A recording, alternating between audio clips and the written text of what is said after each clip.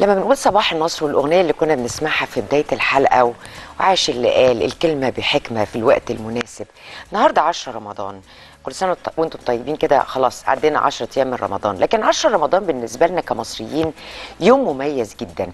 لأنه بتهل علينا ذكرى مهمة جدا ذكرى العاشر من رمضان. حرب أكتوبر 1973 هي كانت 6 أكتوبر 1973 10 رمضان. الحرب والنصر العظيم اللي وحد قلوب كل العرب. ونجحنا الحمد لله في مثل هذه الأيام في استعادة الأرض والعزة والكرامة.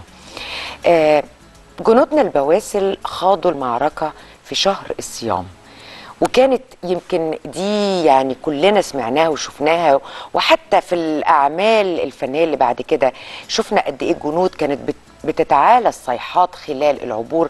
الله أكبر الله أكبر. وقدروا خلالها إن هم يحطموا كل النظريات اللي كان بيتغنى بها العدو خلال تلك الفترة. زي مثلا خط بارليف. عايزه أقول لحضراتكم أيضا إن حرب العاشر من رمضان 6 أكتوبر سطرت خلالها القوات المسلحة الباسلة ملحمة تاريخية عشان يستعيدوا الأرض. وصنعت روحها نصرا أحيا الأمة وأعاد لها كرامتها.